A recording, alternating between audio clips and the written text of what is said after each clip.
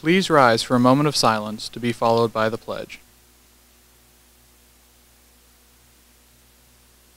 I pledge allegiance to the flag of the United States of America and to the republic for which it stands, one nation, under God, indivisible, with liberty and justice for all.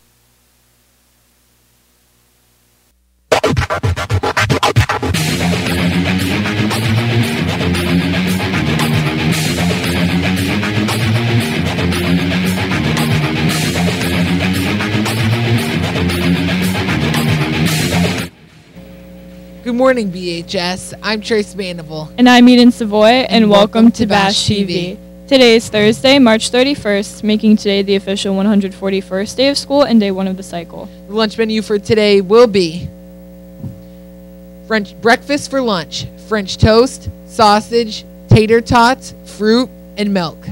The breakfast menu for tomorrow will be goodie ring, fruit, assorted juice, and milk. Seniors, don't forget to stop in the guidance office for your permission form for the class trip to Hershey Park on June 1st. All signed permission forms and money are due to Mrs. Curry by April 8th. The SATs will be given on June 4th. Registration deadline is May 5th. Sign up at the College Board website. Report cards will be distributed in homeroom today.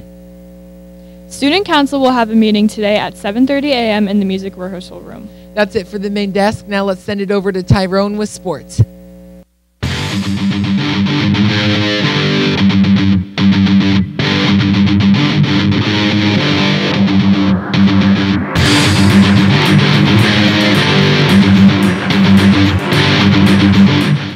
Thanks, Tracy and I'm Tyrone. Let's take a look at everything that's going on with sports.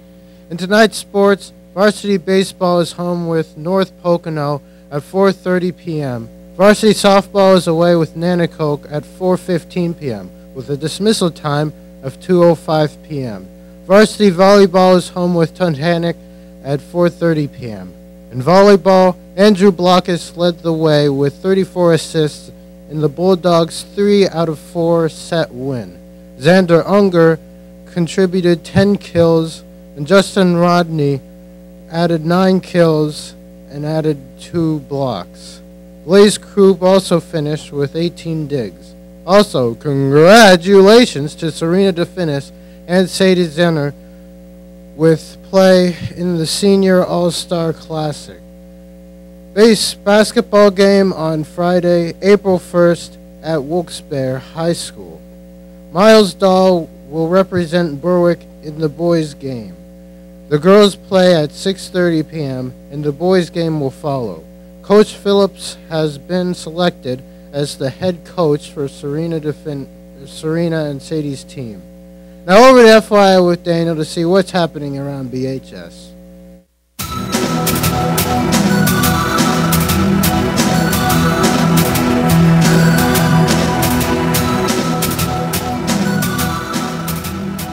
Thanks, Tyrone. I'm Danny Dimes, and let's get started with FYI.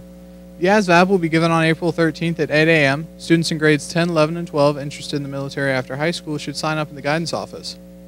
Columbia Montour Votech will be holding their Future Careers Expo on April 13th from 5.30 to 8 p.m. Need employment in the near or distant future? Attend this event and learn about the training, education, and career resources available right here in Central PA. Attendees will also learn about what careers are in high demand and how to match skills, interests, and abilities to these career paths. Dinner will be provided and the deadline to register is April 5th. You can register online or stop by the guidance office to sign up.